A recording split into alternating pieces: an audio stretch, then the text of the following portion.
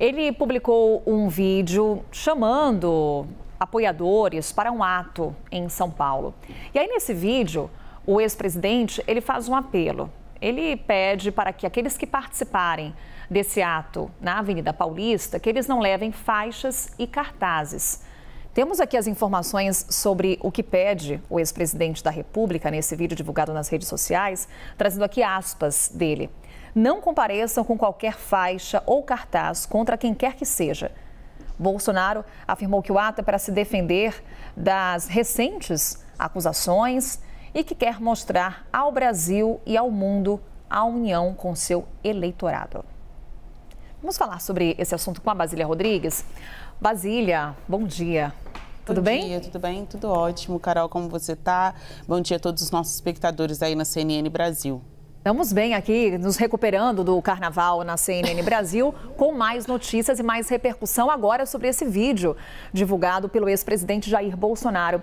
E aí eu te pergunto, Basília, tá claro o cálculo político do ex-presidente da República ao ir às redes sociais, pedir uma manifestação, pedir apoio de seus eleitores e também trazer essa solicitação, por favor, não levem faixas?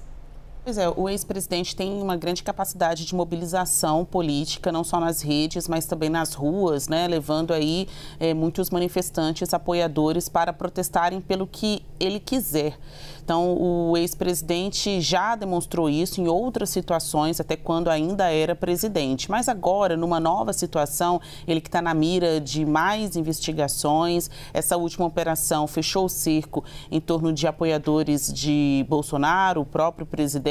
Então, é, foi mais é, dura a medida há, pouco aplicada, né, há poucos dias aplicada pela Justiça. Ainda assim, Bolsonaro foi às redes sociais e fez essa convocação de um ato em seu apoio. Agora, num tipo de recuo, não deixe de ser, o ex-presidente tenta abrandar essa manifestação, pedindo que não vão com faixas, é, com algo que identifique ele diretamente, né? Coloque ali o seu nome faz parte dessa comunicação que a gente sempre tratou durante o ex-governo ambivalente, de passar é, diferentes mensagens né, ao mesmo tempo, é, apontar para diferentes sentidos de uma mesma história. Então, lá na frente, se houver é, uma, algo, um desfecho ruim nessas manifestações, o ex-presidente pode usar isso a seu favor, dizer que foi sim convocar os atos, mas que depois tentou orientar essas pessoas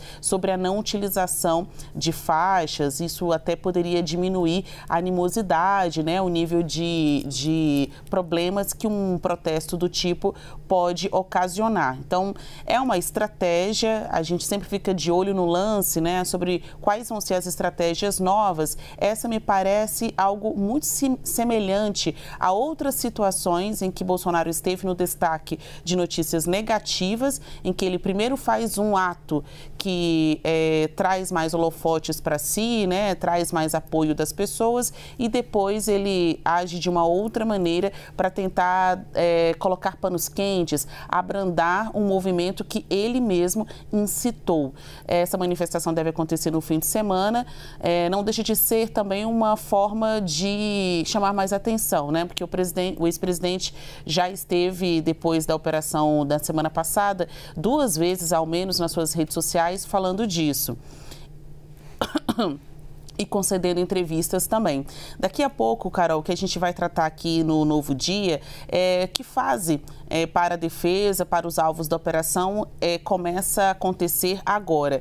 É uma fase de mover recursos contra as decisões do ministro Alexandre de Moraes. No fim de semana já teve um pequeno, é, uma pequena mudança nas decisões quando o próprio Moraes relaxa a prisão do presidente do PL, Valdemar Costa Neto. Só que ainda há muitos outros pedidos, como reaver uh, os itens apreendidos, suspender outras outras medidas restritivas, como aquela que impede a comunicação entre os cabeças do PL. Então, para tudo isso, precisa apresentar é, recursos ao Supremo Tribunal Federal. Então, daqui a pouco a gente trata dessa, que é uma novidade, estratégia das defesas dos alvos dessa operação. Então, as decisões de Moraes estão é, cumprindo seus efeitos, né? Pessoas estão separadas, outras estão presas, há um clima mesmo de preocupação. Agora, os advogados que passaram o carnaval, não na folia, mas traçando essas estratégias,